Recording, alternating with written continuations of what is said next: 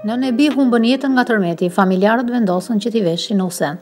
Në mes 39 viktimave nga tërmeti që gjunjëzoi vendin mëngjesin e kësaj të marte, humbën jetën Esiela 9 vjeçe e cila u gjet e vdekur në rrënoja, ndërsa nëna e saj 30 vjeçe Diena Diena Karanxha gjeti vdekjen në spital.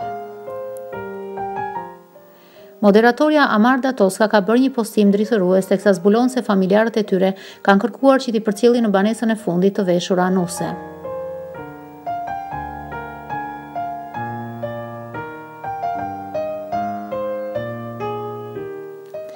Shumë herë kam derdhur lot gëzimi dhe mallëngjimi kur i kemi përcjellë vajzat me fustane nusërie. Kurrë s'ma merrte mendja që mund të derdhja lot dhimbje si sot, dje, për të bukurat Diena dhe Esiela. Në filialin tonë në Durrës erdhën disa klientë dhe bënë një kërkesë rrëqethëse, dy fustane nusesh për dy vajza që do i thonë lamtumirë të gjithëve në ditën e varrimit të tyre.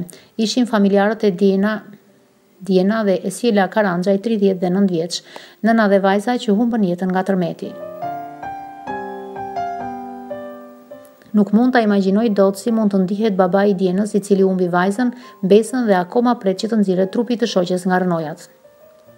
Fustanet e bardha sot ato nuk i veshin për t'u bërë nuse po për t'u bërë engjëj që do na shohin nga atje larg dhe kjo ma thyen zemrën.